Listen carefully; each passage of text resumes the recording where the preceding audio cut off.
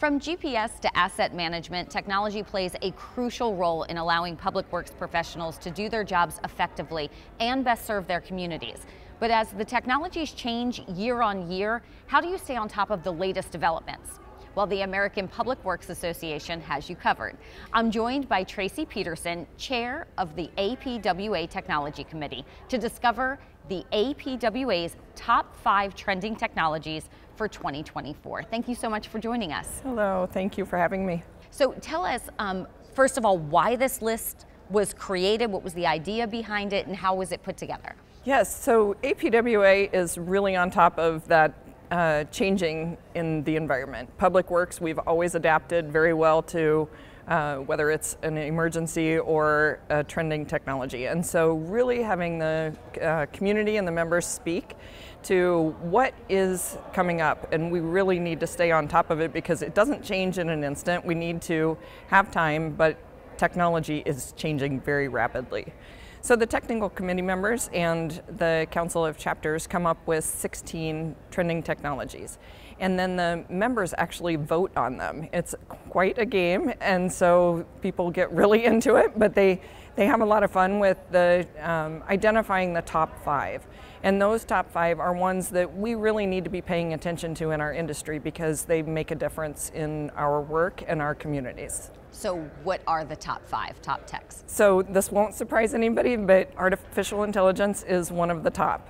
And then we also have GIS mapping is very important to our communities as well. And then we also have lead service, uh, pipe identification. So that is the lead services in the water systems that are going from the mains to the houses. And if you remember um, stories from Flint, Michigan, that is very um, important to people's health in our communities. And then we also have um, sustainability in response to severe events. And so as climate change happens and we see many more intense storms coming through our communities, those actually um, damage a lot of our infrastructure. And so, how can we be resilient to those through green infrastructure or um, other means to protect those transportation systems? Microgrids are the fifth one. And so, the microgrids are important again for a resiliency aspect of looking at the energy system and making sure that in the emergency response we can have a microgrid that's going to um, provide us that energy that we need to uh, get everything back up and running. So how do people get the list and what do you think we might be looking at for 2025? That is a great question, and we had a lot of discussion yesterday at the Technology Committee meeting. So the um, the list is on the Public Works APWA website, and then we also have articles in the APWA Reporter magazine that comes out annually.